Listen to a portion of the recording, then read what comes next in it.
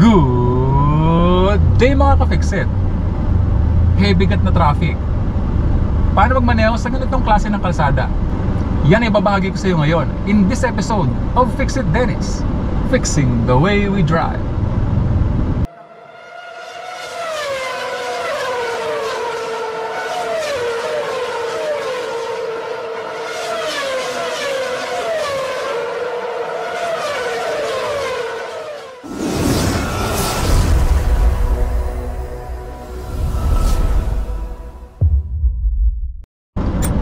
Okay mga ka-fixit, nandito tayo ngayon sa Arnaldo Highway at nakikita mo naman sa ating front camera mga ka-fixit na sobrang traffic mga ka-fixit. So kanina pa namin na-experience to, pag entrada pa lang naman na dito sa kalsada nito mga ka-fixit.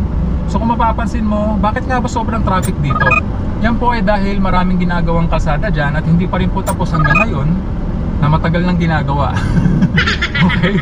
So sa mga nanunungkulan dito sa municipality na ito, General Trias Cavite, sa Arnaldo Highway, ayan, baka pwede naman po nating pabilisin pa yung proseso ng pag-aayos sa kalsada na ito dahil matagal na rin po namin na-experience yung ganitong klase ng traffic dito sa kalsada na ito. Okay, so paano nga ba magmaneho sa ganitong klase ng kalsada? Number one mga ka-fix at importante na meron kang mahabang pasensya. Long patience mga ka-fixit. Kasi pag hindi ka pasensyoso sa mga ganitong klase ng pagkakataon, nandyan yung magmamadali ka, nandyan yung change change lane ka ng change lane, pag nagkaroon ng bakante dyan, palit ka na naman ng uh, lane, palit ka na naman ng uh, lane sa kanan, sa kaliwa, or minsan kukunin mo na yung shoulder kahit hindi naman kalsada yan, marami po ako nakikitang uh, dumadaan dyan na kotse kanina, and minsan naman yung ibang kotse, ayan, kagaya nun yung jeep na yun, nagka-counterflow na, okay? So pag wala kang pasensya, gagawin mo yung mga bagay na yon okay and uh, prone po yan sa aksidente and uh, maaari ka rin mahuli at matikitan. So delikado po yun mga ka-fixit okay? So importante rin kapag ka ganitong heavy gat na traffic maintain your distance. So meron ka sapat na distansya sa sasakyan na nasa unahan. Okay? Anticipate mo din kung ipahinto na siya and aabante na siya. So kagaya nito meron tayong sapat na distansya. At kapag hindi ko nakita yung kanyang bumper sa likuran hihinto na ako dahil alam ko merong sapat na distansya yan in between. So wag po tayo magta-tailgating sa mga ganitong klase ng pagkakataon. Okay? So gawin nga natin kung clutch biting point lang yung gagamitin natin para sa ganitong klase ng scenario kung effective. So clutch all the way down first gear. Bibitawan ko yung ating brake pedal at ilalagay ko sa clutch biting point yung ating clutch. Ayan. So hindi na masyadong mapapagod yung ating kanang paa So kapag ka mga ganitong traffic kagaya, binitawan ko na yung ating clutch all the way up dahil naka-neutral na ako. So clutch all the way down, first gear. Clutch biting point mga ka-fixit para mabante yung ating sasakyan. So pakakawalan ko na yan, pag ang takbo ng sasakyan is around 5 km per hour na dahil alam ko hindi ako mamamatay ng makina at this speed. Pero dahil uh, alam kong kailangan ko na huminto, so kailangan nating i-press yung ating clutch all the way down at mag progressive braking. So kailangan ko na naman huminto, clutch all the way down, brake pedal. Ayan. So pag kailangan ko na naman umandar, kagaya, maabante na naman sila. Bitaw ng brake pedal and clutch to the biting point para umarangkada yung ating sasakyan. Ayan.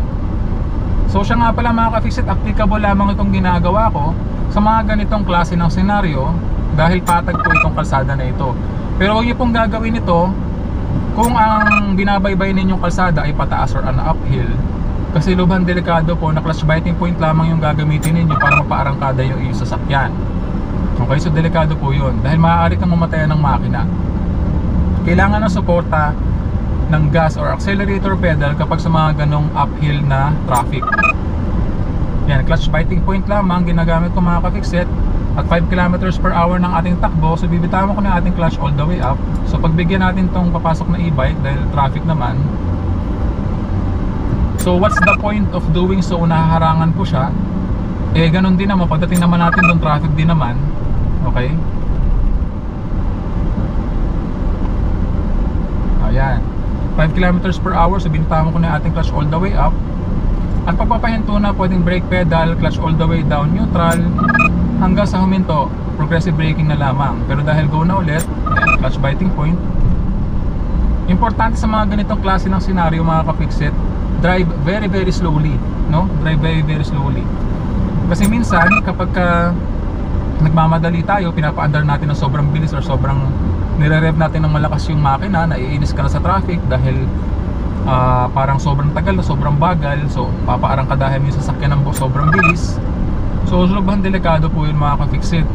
Dahil minsan pag arangkada mo biglang hihinto na naman yung sasakyan na nasa unahan eh hindi kinaya ng preno mo. So nabangga mo yung sasakyan na nasa unahan so bukod sa nadisgrasya ka na magbabayad ka pa naging abala pa kayo sa trafiko. Dahil medyo matagal-tagal ang ah, proseso ng gano'n pag nagkabanggaan. May picturean pa yan may anuhan pa yan ng kung may lisensya pareho ay magpapakitaan pa yan ng ORCR so pagka ganito kagaya niya magsisignal tayong pakaliwa and naobserbahan natin yung sasakyan na nasa likuran or yung sasakyan na kasunod natin sa linya kung ano yung sunod na gagawin niya. Dahil minsan ala, aminin na natin meron pa mga driver na hindi tayo pagbibigyan na makapasok sa linya nila. Kahit na nakasignal ka na.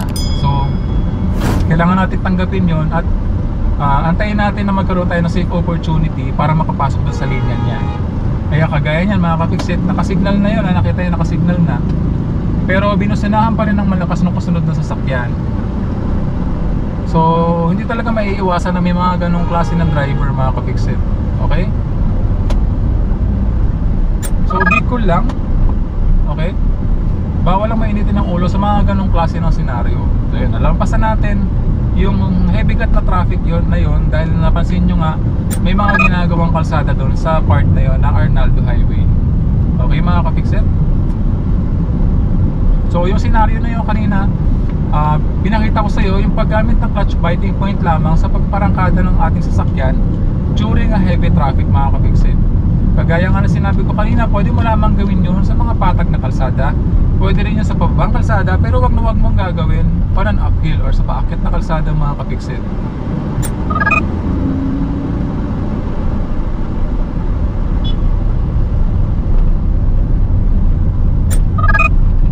So sana may natutunan ka doon sa mixing video na yun mga kapiksit.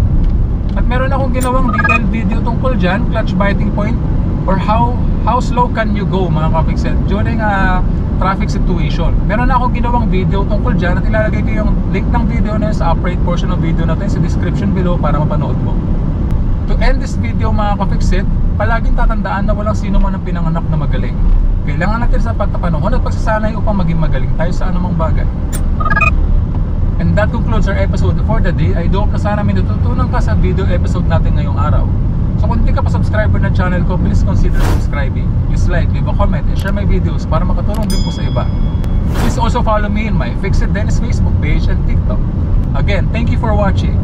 Hanggang sa muli. Paalam!